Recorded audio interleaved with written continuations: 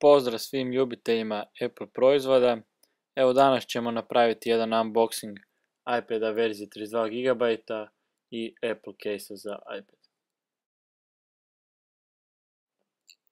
Evo ovo je znači taj iPad, ovo je Apple case i lijevo vidimo screen protector za iPad. Kao što ste možda primijetili, ovaj zvuk je nakratno dodan. Prvo smo znači napravili unboxing i sada ja znači dodajem zvuk. Evo sad ćemo otvoriti ambalažu da vidimo što je unutra. Evo papir ćemo maknuti. To ide u smeće. Evo idemo sad vidjeti što se dobije sve unutra. Evo ga. Naravno prvo što vidimo je iPad.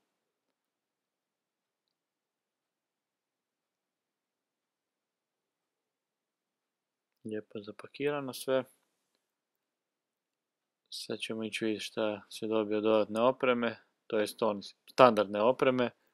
Znači onaj punjač i kabel, standardno. Jedino je razlika između iPhone-a i iPada što se ne dobiju slušalice, ali to nije problem. Standardno dobiju se kratke upute i naljepnice od Apple-a.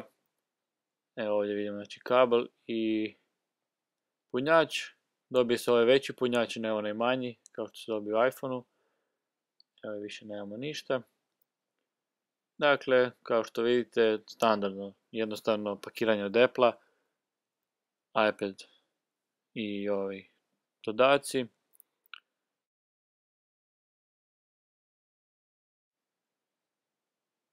Eto, i to je to.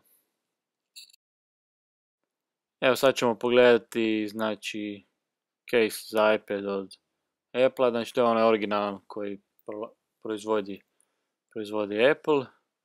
Isto standardno jednostavno pakiranje, znači unutra u biti dobijete samo case i dobijete ovu krpicu za ekran i za cijeli iPad, biti za što želite.